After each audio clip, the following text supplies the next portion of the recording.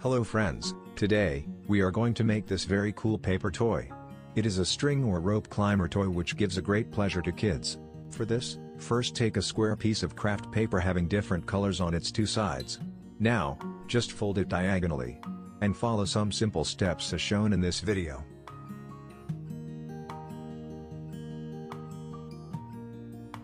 Meanwhile this paper toy is getting ready, please subscribe this channel and like the video.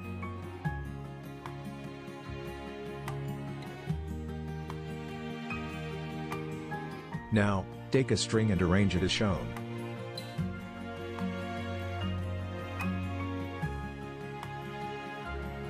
Get ready, for a great fun. Students really enjoy such type of craft work. Hope you love this video. Thanks for watching and don't forget to like, share and subscribe. Have a nice day.